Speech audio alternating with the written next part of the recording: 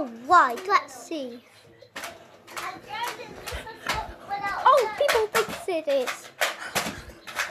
Wow, Pinbirds at the top and YouTube is at the bottom.